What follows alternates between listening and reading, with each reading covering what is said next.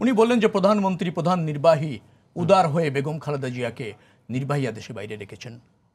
আমি যদি বলি, প্রধান নির্বাহী তার নির্বাহী ক্ষমতার অপব্যবহার করে মিথ্যা, ভিত্তিহীন, বানোয়াট মামলায় বেগম খালেদা জিয়াকে কারারুদ্ধ রেখেছেন, তার জন্য ক্ষমা চাইতে হবে। কারণ একই ধাঁচের মামলা মাননীয় প্রধানমন্ত্রীর এগনিষ্ঠ ছিল। পনেরোটি মামলা ছিল। রাষ্ট্রীয় সম্পদের দুর্নীতির মামলা ক্ষমতা এসে তুলে নিয়েছেন। অর্থাৎ ওয়ান ইলেভেনের সরকারের ওই মামলাগুলি আপনাদেরটা হলে সেটা ইনোসেন্ট হয়ে গিয়েছেন আর আমাদেরটা রাজনৈতিক প্রতিহিংসা কাটিয়েছেন তার জন্য প্রধানমন্ত্রী ক্ষমা চাক নিশ্চয়ই যদি চেয়ে থাকেন আমরাও হাত বাড়াবো। মিডিয়ার কথা বলছিলেন উনি। জি। মিডিয়া যা কিছু উপস্থাপন করছে নিরপেক্ষভাবে করছে সেখানে প্রশ্ন রয়েছে মানুষের কাছে। আমার প্রশ্ন রয়েছে ব্যক্তিগতভাবে। আপনি যা দেখেন আপনি যা বোঝেন আপনি যা ভাবেন সেটা অ্যাজ ইট ইজ উপস্থাপনা মিডিয়া করতে পারছে কি? নিশ্চয়ই পারছে না। এবং মানুষের আমি কি বুঝি সেটি যদি আপনি ঠিক করেন রবি ভাই তাহলে মানুষ বলছে আমি আপনাকে বলি যে উনি আচ্ছা। বললেন কোন রাজনৈতিক দলটি কোথা থেকে এসেছে কীভাবে কি করছে এটার বিচারক কে হারুন সাহেব নাকি? এটার বিচারক জনগণ। এটার বিচারক হচ্ছে হ্যাঁ, জনগণ।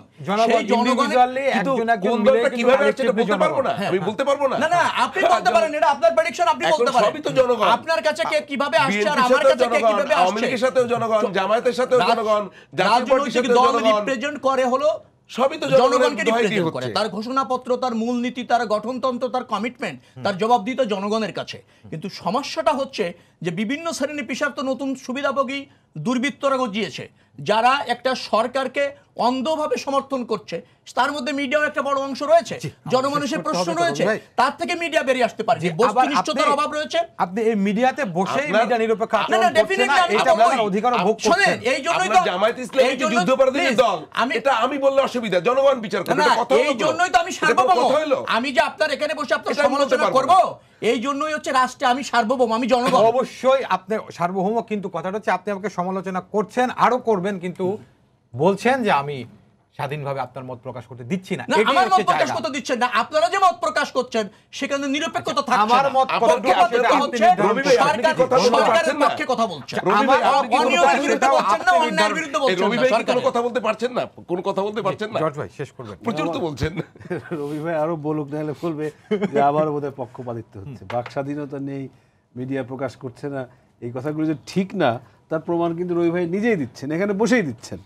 তো এইভাবে আপনার ওনারা প্রতিনিয়ত একটা বিষয়বস্তুকে অন্যভাবে মানুষের কাছে উপস্থাপন করছেন এবং সেই উপস্থাপনাটা যে মানুষের কাছে বিশ্বাসযোগ্য নয় এবং বিশ্বাসযোগ্য হচ্ছে না দ্যাট ইজ প্রুভেন এটা কিন্তু প্রমাণিত হয়ে গেছে, যার কারণে ওনারা বারবার একই কথা বলছেন। বিশেষ করে ওনাদের ভারপ্রাপ্ত মহাসচিব ফখরুল ইসলাম সাহেব বলছেন, এই জন্যে আমি বলেছি আমার হুমায়ুন আহমেদ সাহেবের এই কথাটা খুব মনে ধরেছে। হি ইজ এ মানে এখন উনি একজন চাপা বিধ্বস্ত লোক হয়ে গিয়েছেন। এই যে ওনারা যা বলছেন এই বলতে বলতে বিধ্বস্ত হয়ে গেছেন। এই বিধ্বস্ত পরিবেশের ভিতরে মানুষকে কীভাবে আশ্বস্ত করবেন এটা আর বিশ্বাসযোগ্য কারও কাছে হয়ে ওঠে নাই। যার জন্য ওনারা বলছেন এই উত্তেজিত হয়ে পড়েন কখনো কখনো কখনো কখনো নানান কথা বলছেন এইগুলো আসলে ঠিক আমার মনে হয় মানায় না। হারুন ভাই তিরিশ সেকেন্ড সময় আছে শেষ কথা যদি কিছু কি নিয়ে বলব?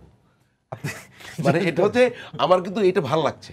যে ভালো লাগাটা রবিভের বক্তব্য ভালো লাগছে, জর্জ ভাই, সেটি হচ্ছে মিডিয়ার প্রতি আস্থা আছে বলেই কিন্তু মিডিয়ার প্রতি আঙুল তুলছেন। তোমাদের আরও করা উচিত, তোমাদের আরও বলা উচিত। অর্থাৎ আশা ভরসার স্থলে পরিণত হচ্ছে সংবাদ মাধ্যম, এটা আমার ভালো লাগছে।